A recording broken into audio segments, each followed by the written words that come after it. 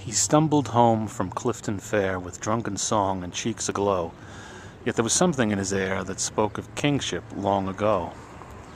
I sighed, and inly cried with grief that one so high should fall so low.